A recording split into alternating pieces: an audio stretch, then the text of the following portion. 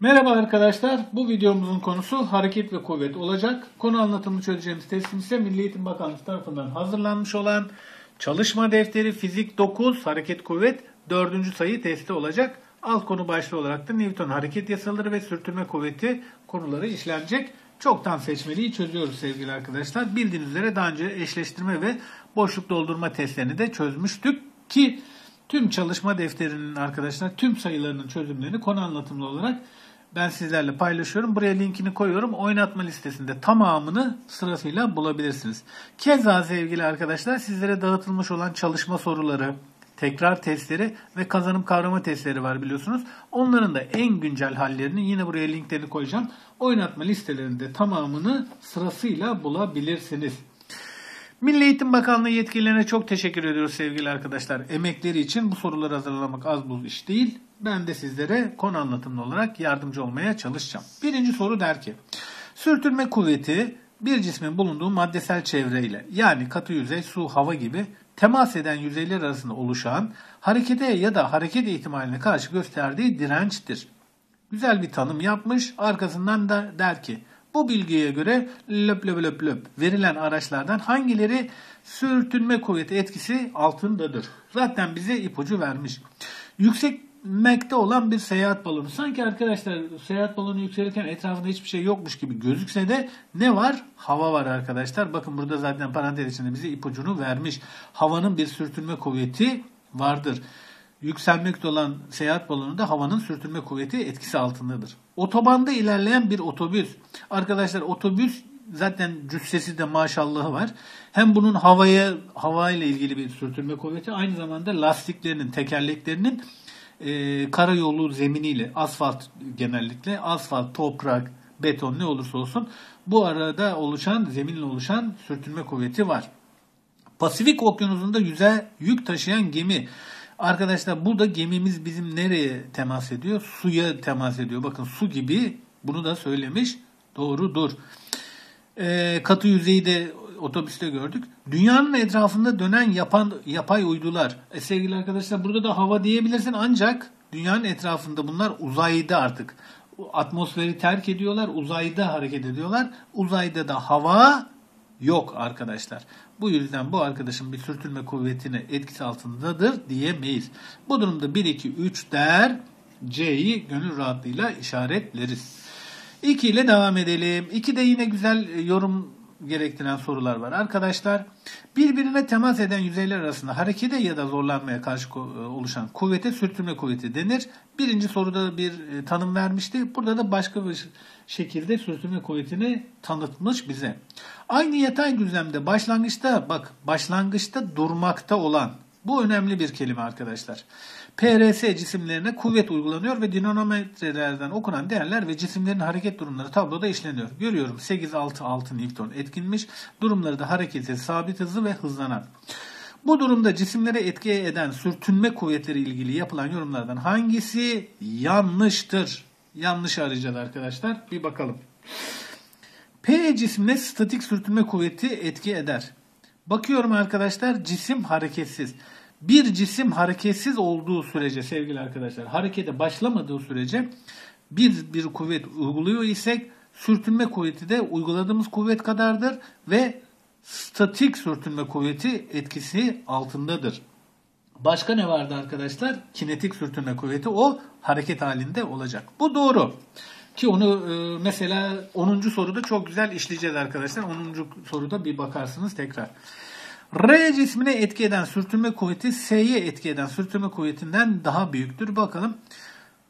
E, sevgili arkadaşlar e, dikkat ederseniz bu arkadaş sabit hızla e, e, hareketini sürdürüyor. Sabit hızda ne oluyordu arkadaşlar? Cisme etkiyen net kuvvet sıfır oluyordu. F eşittir MA'da.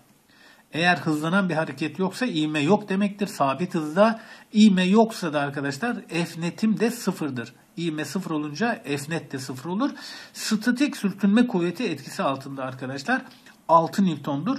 6 Newton'la çekerim. 6 Newton'da sürtünme kuvveti vardır. Böylelikle F net sıfır olmuştur bu durumda. S e, cismine geldiğimde de arkadaşlar yine 6 Newton uyguluyorum. Ancak hızlanan bir hareket yapıyor. Artık bu arkadaş kinetik sürtünme kuvveti altındadır arkadaşlar. Bak dikkat edersen belli bir yere kadar statik sürtünme kuvveti çıkıyor. Hareket başladıktan sonra da arkadaşlar sürtünme kuvveti belli miktar azalır. Artık bu kinetik sürtünme kuvvetidir. Ki kinetik sürtünme kuvveti her zaman maksimum e, statik sürtünme kuvvetinden daha azdır. Bundan dolayıdır ki R'ye etki eden sürtünme kuvveti S'ye etki eden sürtünme kuvvetinden daha büyüktür. Güzel bir e, şık olmuş.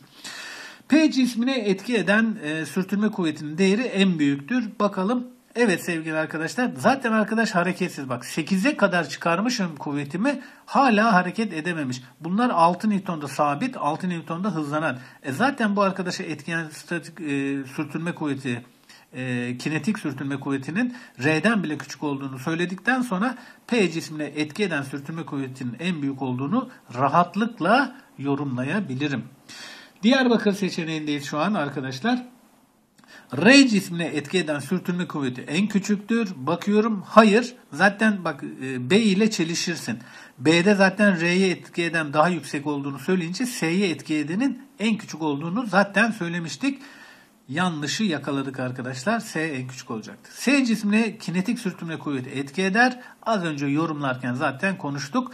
Arkadaş hızlanan bir hareket yapıyor. F net sıfırdan farklı. Sürtünme kuvveti, statik sürtünme kuvvetini yenmişiz. Dikkat edersen kinetik sürtünme kuvvetiyle yoluna devam eder arkadaş. 3 ile devam edelim. 3 ne diyor bakalım? Bir tahta tokuzu ip yardımıyla dinamometreye bağlayan e, sevgili Metin, buradan selam söylüyoruz Metin'e ve Metin olmayan tüm arkadaşlara.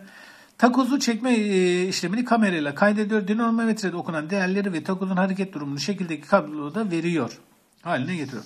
Buna göre tabloyu yorumlayan metin löp löp löp hangilerine ulaşabilir diyor arkadaşlar yargılarına. Önce biz gelin bu yorumlarımızı bir yapalım hızlıca. Bakın dinamometre sıfırken hareketsiz. Bir zaten sıfır hiç kuvvet uygulamadığında hareketsiz olur. Bire çıkartıyorum. Bir Newton mu? Newton diyelim biz bunlara. Hareketsiz, hareketsiz, hareketsiz derken arkadaşlar 4'te 4 Newton'da artık bakın sürtünme kuvvetini yenmişim, hızlanana geçmişim. Artık burada ne var arkadaşlar? Kinetik sürtünme kuvveti var. Hareketsiz halden artık harekete geçmiş. Ancak dikkat edersen kuvveti iki buçuğa düşürdüğünde de sabit hızla gidiyor. Sevgili arkadaşlar bu ne? Artık F net sıfır oluyor. Yani belli bir yerden sonra şu grafiğimi tekrar göstereceğim. Sürtünme kuvveti, statik sürtünme kuvveti belli bir yere kadar çıkıyor. Daha sonra harekete başladıktan sonra düşüyor ya. Maksimumuna ulaştıktan sonra sevgili arkadaşlar sabit hızla gittiğinde artık burada da ne yapmış? E, kinetik sürtünme kuvveti etkisi altında 2,5 F net sıfır olduğuna göre benim çektiğim değer 2,5 sürtünme kuvvetim de 2,5 olur arkadaşlar. Yani 4'ten 2.5'a düşmüşüm. Burada hızlanan, burada sabit hareket. Buradaki triyi gör diye söylüyorum. Hatta bak dikkat edersen 3'te hala hareket etmezken 2.5'ta nasıl ediyor diye sorabilirsin. İşte onun sebebi budur arkadaşlar. 3'te bak yüksek bir yerde hala hareket etmezken harekete başladıktan sonra sürtünme kuvveti düşer. Bu bunun çok güzel bir göstergesidir. Şu grafiği yorumlamanı istediğim için üzerinde duruyorum. Okuyalım. Hareketsiz durumda iken e, hareketsiz durumda etki eden sürtünme kuvvetinin en büyük değeri hareketli durumda etki eden sürtünme kuvvetinden büyüktür. Yine getireceğim duramıyorum. Evet arkadaşlar hareket halinde eden sürtünme kuvveti bak daha küçük. Hareketsizken eden sürtünme kuvveti daha büyük olur. Doğrudur. Doğruyu arıyorduk zaten hangi e, yargılara ulaşabilir. E, ikiyi okuyalım. Uygulanan kuvvet 3 Newton değerine ulaşıncaya kadar sürtünme kuvveti yoktur. Olur mu böyle bir şey ya? Olur mu?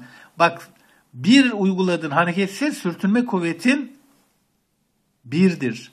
Hareketsiz İki uyguladın sürtünme kuvveti 2'dir. Arkadaşlar cisim harekete başlayana kadar sen ne kadar kuvvet uygularsan sürtünme kuvveti de o kadardır. Uygularsın kuvvetini sürtünme kuvveti o kadardır ta ki maksimum değere ulaşana kadar. Hiç yoktur. Çok büyük bir yalan olmuş yani. 3. Cismin hareketsiz olduğu durumda yapılan gözlemlerde sürtünme kuvveti uygulanan kuvvetten büyüktür.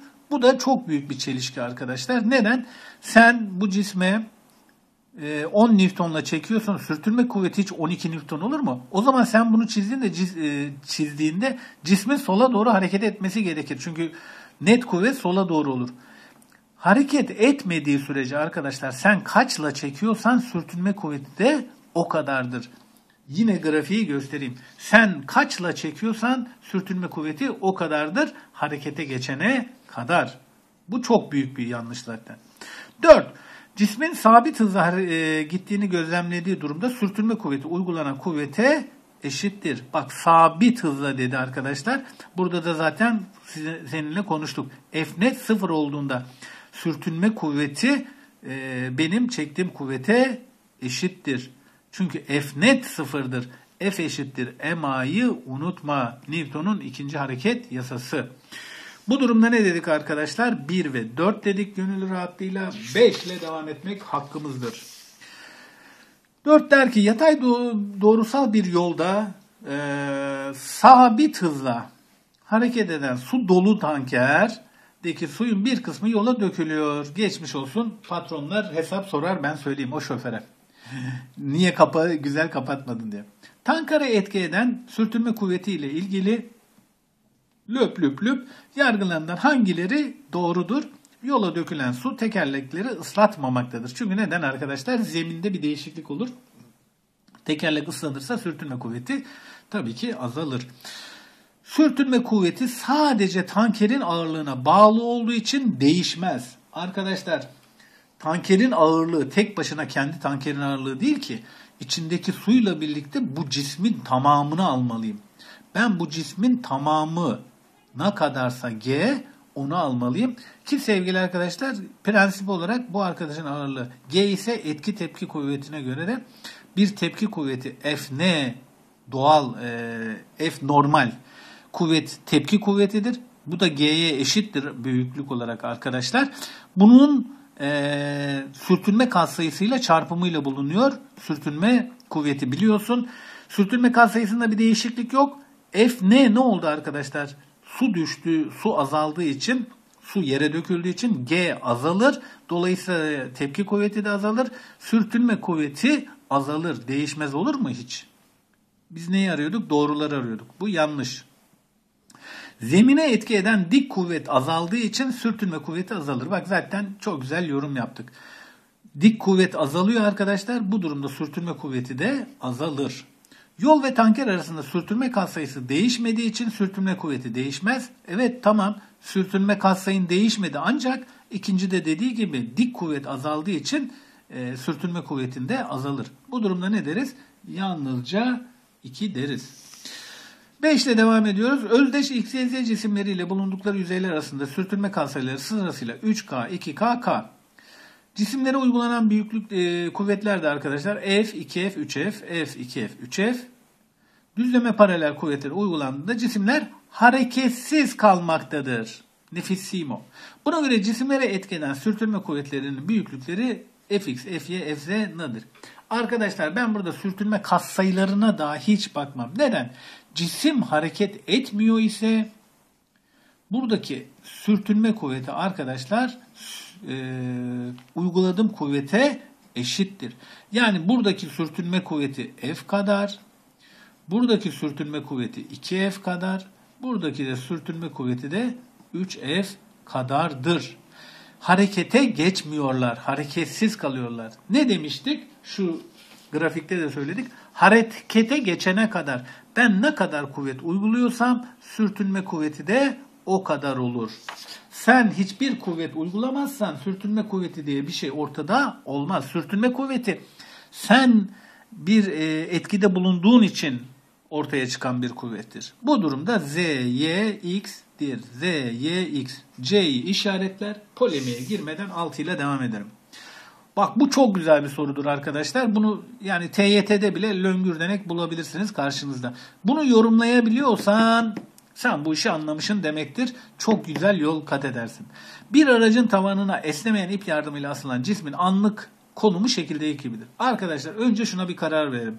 Çok güzel bir çizimimle bu arkadaşı bir temsilen çizeyim şu aracı. Normal şartlarda bu cisim sevgili arkadaşlar şöyle durur değil mi? Bak dururken de böyle durur. Sabit hızla ve sabitle giderken de böyle olur. Tamam mı? Senin göreceğin görüntü budur. Aynen kendini düşün. Sen koltukta dururken başını düşün. Böyle normal arabayla birlikte gider.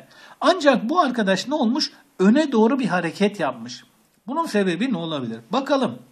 Artı x yönünde hızlanan hareket. Eğer benim bu arabam artı x yönünde hızlanarak gitse arkadaşlar bu arkadaş şöyle arkaya doğru hareket ederdi değil mi? Hani böyle bir anda gaza basınca sen sırtın e, oturduğun yere yaslanır ya böyle bir hareket yapardı. Eksi x yönünde sabit hızla hareket. E sevgili arkadaşlar eksi x yönünde sabit hızla hareket yapsaydı da bu cisim yine böyle durduğu gibi dururdu. Eksi x yönünde yavaşlayan hareket. Bak eksi x yönünde yavaşlayan hareket dediğinde arkadaşlar normalde böyle duruyor. Sola doğru hareket yaparken yavaşlarsa ne olur? Cisim şu hareketi yapardı. Bak çok güzel değil mi? Bak artı x yönünde hızlanan hareket ile eksi x yönünde yavaşlayan hareket sana aynı görüntüyü verdi. Enteresan değil mi? O yüzden diyorum işte bu hareketleri anlarsan. Bu sola doğru gidiyormuş burada. Sola giderken bir anda frene dokunuyor. Öyle düşün. Tamam mı? Eksi x yönünde gidiyor bu yönde ve frene dokunuyor. Çünkü frene dokunduğunda yavaşlayan hareket yapar ya. Lömbür denek dokunmuyor tabii ki. Yavaş yavaş yavaşlatıyor. Bu hareketi yapar. Ya da diyor artı x yönünde yavaşlayan. İşte olay çözülmüştür. Arkadaşlar bu cisim şöyle duruyordu ipte. Şimdi bak artı x yönünde giderken şu eksi x'in tam tersini düşün. Hop şu hali alır. Bu cisim hala hareket etmeye çalışır. Eylemsizliğe nefis bir örnek olmuş. D'yi işaretler. E'ye bile bakmam. Ama gelin bunu da e, kontrol edelim. Artı x yönünde sabit hızla. E, sabit hızla gidiyorsa arkadaşlar her zaman cismi bu şekilde görürüm ben. Çok güzel oldu. Hepsini de yorumlamış olduk. Güzel öğretici bir soruydu bu.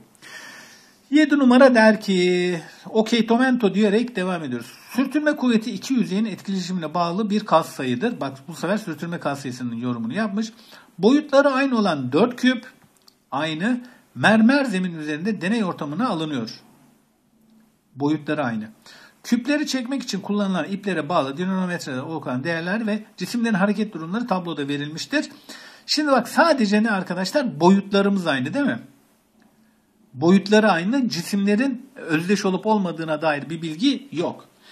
Tablon verilmiş. Tablo incelendiğinde yapılan yorumlardan hangisi yanlış olur arkadaşlar? Yanlışı arıyoruz. Yanlış olanı. L ve M küplerini etki eden kinetik sürtünme kuvvetleri birbirinden farklıdır. L ve M farklı cins cisimlerdir. Bakıyorum L ve M'ye. L burada, M de burada. Bakın burada hızlanan bir hareket var. Burada da sabit hızlı. Arkadaşlar hareket halindeysem ne olacak? Kinetik sürtünme kuvveti altında olacağım. Hareket halindeyken kinetikte oluruz. Şurada yine o meşhur şeyimi göstereyim. 10. soruda zaten açacağız. Artık harekete başladıktan sonra arkadaşlar benim etki eden kuvvetim kinetik sürtünme kuvvetidir. Doğrudur. Farklı mı? Bir bakalım arkadaşlar. Farklı. Hocam olur mu ya 10 Newton 10 Newton. Sevgili arkadaşlar dikkat edersen bak bu F burada F net sıfır. Çünkü sabit hızlı ivme yok. Burada da arkadaşlar F net sıfırdan farklı. Yani pozitif hatta hızlanan dediği için. Artık yönüne bağlı da tabii biz sıfırdan farklı desek daha doğru demiş oluruz. E, sevgili arkadaşlar senin F netin burada sıfır sürtünme kuvvetin bu kadar. Fs sürtünme kuvveti tabii kinetik sürtünme kuvveti 10 Newton kadardır. Burada da arkadaşlar sürtünme kuvvetisinin 10 Newton'dan daha düşüktür. Çünkü F net sıfırdan farklıdır. Doğrudur. 10 Newton ikisine de 10 Newton uygulamışsın ama karşılaştığın sürtünme kuvvetleri farklı aynı zemin üzerinde. Demek ki bu arkadaşlar farklı cisimler çünkü iki farklı yüzeyin etkileşimine bağlı. Yüzeylerin farklı, yüzeylerin farklı olduğu için farklı cisimlerdir diyebilirsin. Buna doğru dedik. B. K ve N'ye etki eden statik sürtünme kuvvetleri dinamometrede okunan değerleri eşit. K ve N cisimleri aynı cisim olabilir. Bir bakalım K ve N. K ve N arkadaşlar bak ikisi de hareketsiz. Bu arkadaşı 12 Newton'la çekmişim. Bu arkadaşı 10 Newton'la çekmişim. Sürtünme kuvveti dinamometre oranı değişittir. Eşit midir? Ee, hocam burada 12 yazıyor, burada 10. Arkadaşlar dinom, dinamometrede okunan değerlere evet hareket etmediğin sürece arkadaşım Fs hatta şunun yanına yazalım. Burada Fs 12 Newton. Burada da Fs eşittir 10 Newton olur. Bu analizleri yaptıktan sonra soruları okumak çok daha kolay olur. Doğrudur. Aynı cisim olabilir. Fark, ama hocam farklı şeyler veriyor. Arkadaşlar bunu 12'ye çıkarsam bu da hareketsiz kalabilir. Yani hala aynı cisim olabilir. Farklı da olabilir ama aynı da olabilir. C'yi okuyalım. M ve N'ye etki eden sürtünme kuvvetinin büyüklükleri aynıdır. M ve N aynı cisim olabilir. M'ye N'ye bakalım. E sevgili arkadaşlar buraya yazmışım zaten değil mi? Bak burada kinetik sürtünme kuvveti var. Kinetik sürtünme kuvvetim e, net e, 0. Burada da statik sürtünme kuvveti var. 10. Sürtünme kuvvetinin büyüklüğü aynıdır. M ve N aynı cisim olabilir. Bir bakalım bu yoruma göre M ve N. Diğerlerini de okuyalım. Bunu bir soru işareti. Bu zaten doğru bulacağız bunu arkadaşlar. Diğerlerini okuduktan sonra daha net ortaya çıksın. L ve N'yi etki eden sürtünme kuvvetleri farklıdır. L ve N. Bakıyorum arkadaşlar. Bakın bu sürtünme kuvvetim zaten daha düşüktür dedim. Burada 10 dedim. Evet farklıdır. L ve N e, farklı cisimlerdir. Doğru kabul ediyoruz. K ve M'ye etki eden sürtünme kuvvetlerinin çeşidi farklıdır. K ve M neredesin? K, M. Bak burada işte zaten söylemiştim. Bak kinetik sürtünme kuvveti. Burada da statik sürtünme kuvveti. Çeşitleri farklıdır. Aynı cisimde olabilirler. Doğru cevabımız C. Neden C sevgili arkadaşlar? Büyüklüklerinde dediğinde burada zaten benim e, M'ye kinetik sürtünme kuvveti var arkadaşlar. Kinetik N'ye de arkadaşlar statik sürtünme kuvveti etki ediyor. Tabii ki e, farklı şeyler olacak ama burada ne demiş? MN'ye etkeden sürtünme kuvvetinin büyüklüğü. Şimdi burada 10 Newton diyorum aslında M'ye. F net 0 olacak. Sabit hızla gittim için 10 Newton'la çektim. Bu arkadaş ne? Hareketsiz kaldı. Yani hala bir soru işareti koyuyorum ama yani diğerleri kesin doğru olduğu için buradaki ayrımı herhalde şeyden yapmış arkadaşlar. Birinin kinetik birinin de sürtünme kuvveti olmasından dolayı. Yoksa kuvvetler eşit gibi duruyor. Ben yine bir soru işareti koyarak doğru cevabı bunu diyorum. Şerh koyuyorum yani. Buna bir şerh maddesi koyuyorum. A, B, D, E'yi kesinlikle kabul ettik. 8'de devam edelim. O meşhur 10. soruya doğru gidiyoruz. Bir cisme uygulanan yer çekimi kuvvetidir. Ne bu? Bir şey söylememiş. Başında bir şey unutulmuş herhalde. Yer çekimi kuvveti dört temel kuvvetten biri olan kütle çekim kuvvetidir. Değil mi? Bir cisme uygulanan yer çekimi kuvveti. Ha bu ağırlık. Ağırlıkla başlamalıydı. Nedir arkadaşlar? Ağırlık bir cisme uygulanan yer çekimi kuvvetidir. Çünkü benim bir kütlem vardır. M'dir arkadaşlar o. Yer çekimi kuvveti olunca o ağırlık haline gelir. Yer çekimi kuvveti de kütle çekim kuvvetidir. Dünyanın çekim alanına giren her cisme bu kuvvet etki eder. Bu nedenle bir cisim havada serbest bırakıldığında yere doğru hareket edebilir. Verilen bilimsel bilgi hangi soruyu cevaplamaya yöneliktir? Ha ben zaten söylemişim ya. zaten soru oymuş. Bu şey nedir diye ben başta Allah Allah dedim ya. E, cümle yanlış başlıyor. Bak zaten söyle cismin ağırlığı nedir? Arkadaşlar cismin ağırlığını tarif ediyor yukarıda. Kütlesi nelere bağlıdır? Kütlesi nasıl tanımlanır? Kütle çekim nedir? Cisimler nereye doğru hareket ederin cevabı değil. Ağırlık. Ben de diyorum cümleye niye böyle başlıyor? Zaten bahsettiği ağırlık arkadaşlar. Şudur işte ağırlık m çarpı g ya arkadaşlar. Bu kütle bu da çekim ivmesi, yer çekim ivmesi. Bu yer çekim ivmesi bu kütleye ağırlık kazandırır.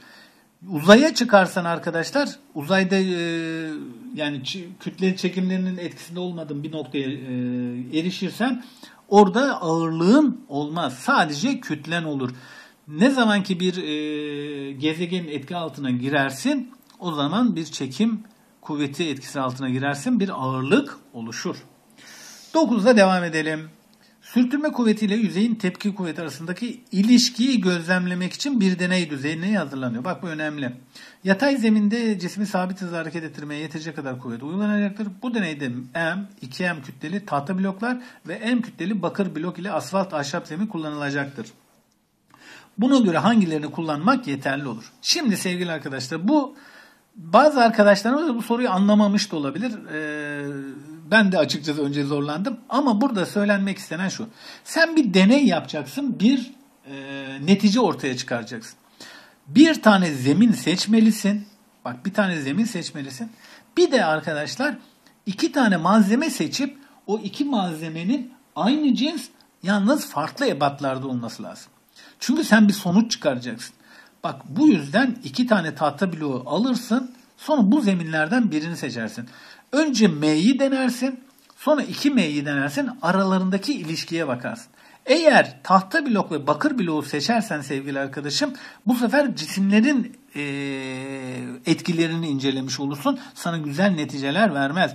Oysa sürtünme kuvvetiyle yüzeyin tepki kuvvetini inceliyor isen aynı malzemeyi seçip farklı ebatlarda, farklı kütlelerde seçmen lazım ki buradaki ilişkileri gözlemleyebilmelisin. Bundan dolayı M ve 2M kütleli iki tahta seçiyoruz. Asfalt yüzeyi seçiyoruz. E, ahşabı seçsek iki aynı e, zemin olduğu için demek onu da kabul etmemiş. Asfaltı seçerek sürtünme kuvvetiyle yüzeyin tepki kuvveti arasındaki ilişkiyi bu şekilde ölçmüş oluruz arkadaşlar. Buna da E diyoruz.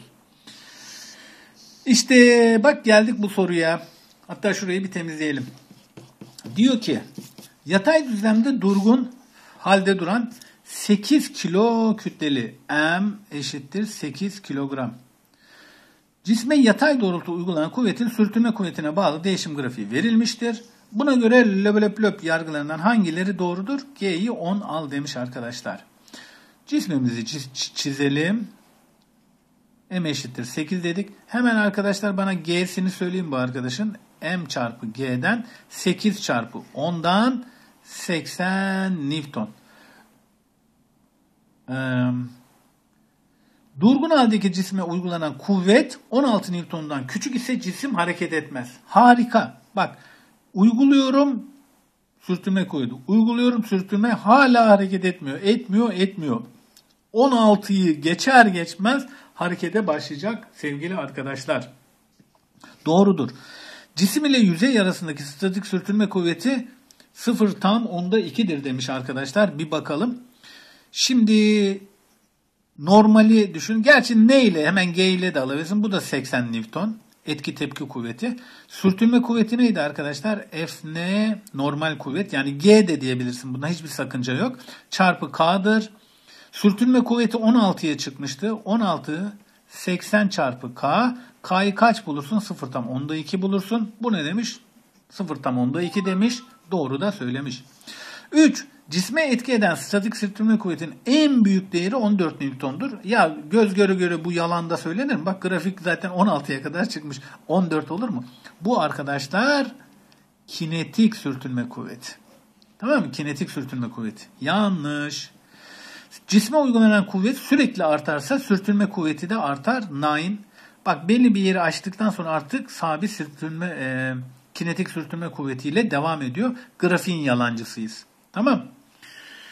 Hatta e, yani oraya o kadar detaya da girmeyelim de mümkün gittikçe de çok sonsuza doğru gittince azaldığını da söyleyebiliriz. Ne dedik bu durumda? 1 ve 2 dedik. Neredesin? Yalnız A. Yani A dedik 1 ve 2. 11. Şimdi bu 11'e de biraz şeyim var ama neyse 11'i de doğru kabul edeceğiz. Bir kaça? 7. soruya mı?